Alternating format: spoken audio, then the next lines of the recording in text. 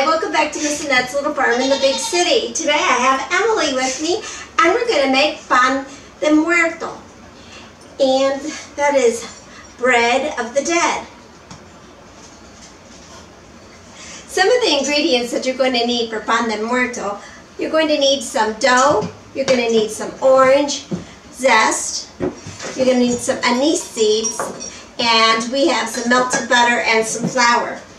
We used already made roll dough and we had eight pieces and we put two together because we're going to use two of the pieces. We're going to reshape them to make our bones and our skull for our bread.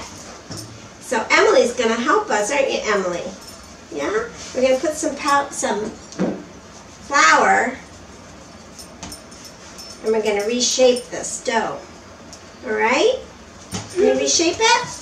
You reshape it. And I'll get these ready. I'll set them on our...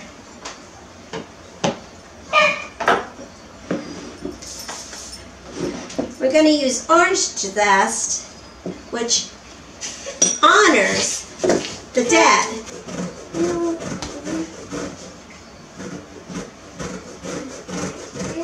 Uh-huh. Oh, good job, Emily. You're really doing a great job. And I'm zesting this little zester. And, and the zest is just the peel of the orange. It's very fragrant and tastes really good. I know it doesn't always taste good when you're trying to eat it, but it is pretty tasty in small amounts.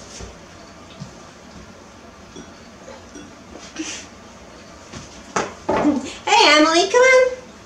I need your help. So we have the orange zest, and we have the anise seeds. Good. Yes. I have a pan ready to put our rolls on. Putting those there. Yeah? You're really working hard there, aren't you? Huh?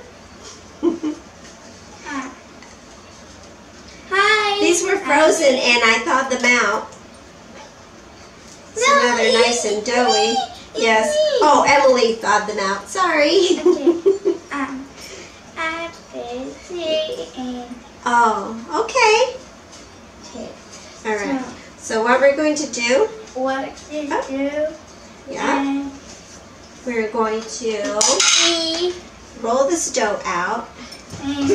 dough out. Yeah, we're gonna roll it out. We're gonna make vessels or bones. Uh-huh. Now the yeah. skull, that yeah. would be the dollop on the top of the bread. And we have one, two, three, four, five, six, so we have to make six heads. Okay? You have one there? Mm. Yeah? Okay. So one, two, three. Yeah. Five. Four. Eight. Five. And then oh no, what'd you do? what did you do? Okay, so we have the little skulls right here. One, one, two, three, four, five. Okay, you got that one ready? Oh, that one's a big one. Let's make that one a little bit smaller. All right, and then I'm going to put some melted butter on the top so everything sticks when we put it on there.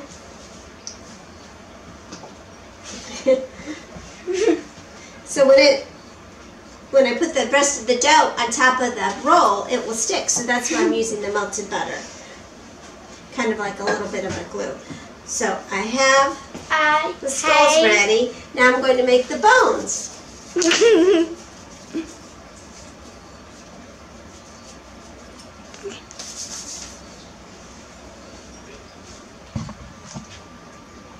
okay, come sit down, Emily. Emily, come sit down so you can help me. I'm going to need your help. Okay? Yeah. We need to make the bones, okay? So we're going to stretch this out. Whoops.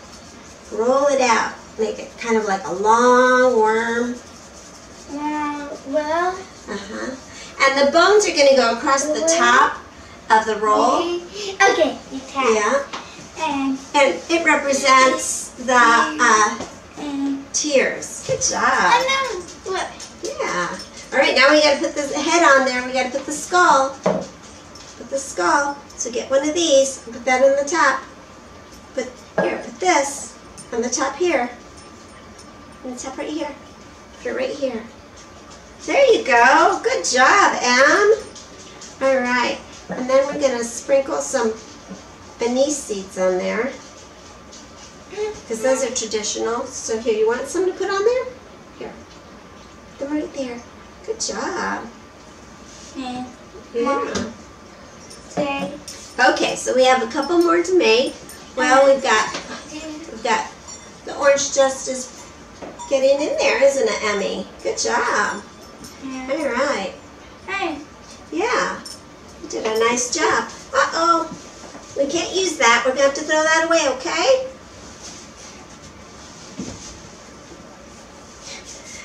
You throw that away? Good job. yeah. Okay. Um, here. Hi. Hi, Emmy. Hi. Okay. All right. Here, yeah, we do need to put a little bit of that right here, okay? Mm-hmm. Sit, okay. Yeah. Now we'll put the heads on there. I'm going to need some more of this. Yeah, let's put some more of that over there. Thanks, Em. Emily's in the background here. She's helping out. yeah. She's a good helper, aren't you, Emmy?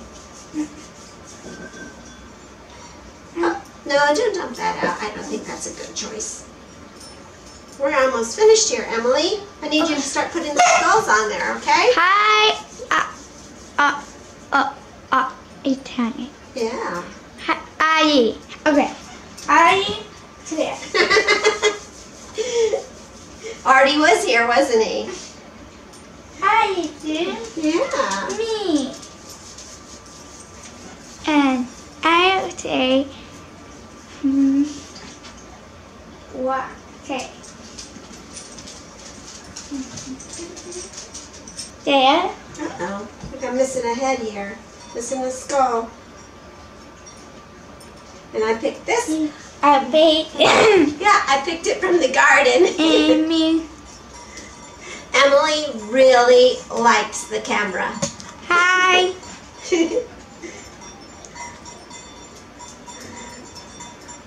All right, I'm going to bring you guys in closer here so you can see what we've been doing. Um, I know my camera skills aren't the best, but I'm getting there, okay? So you can see that oh, we're missing a head. I might have to take part of somebody else's head. And so the skulls are the top. Okay. These are the bones of the skeleton, which also represents the tears that you cried for the person that had passed. And then the bottom represents the circle of life. How about that? So it's all very meaningful. And we're going to pop these in the oven, and then when we're finished with them, we're going to put them on our altura that we made a little bit earlier. Emily helped me. She put the flowers on. It looks beautiful. All right, I'm going to put them in the oven as directed. And if you use pre-made dough, you will follow the directions on what heat setting you'll have. Take them out of the oven. They're ready.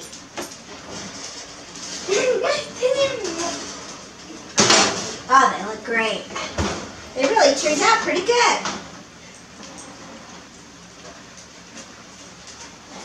I'm going to plate them so we can take them to the ofrenda.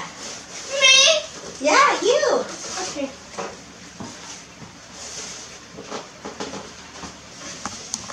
Go put them on the ofrenda.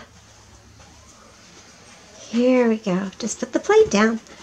There you go. Good job, Emily. Deep. Yeah, no, just leave them there on the plate. That'll be fine. There we go. We did it. Thank you for visiting. Visiting Miss- me. I. I.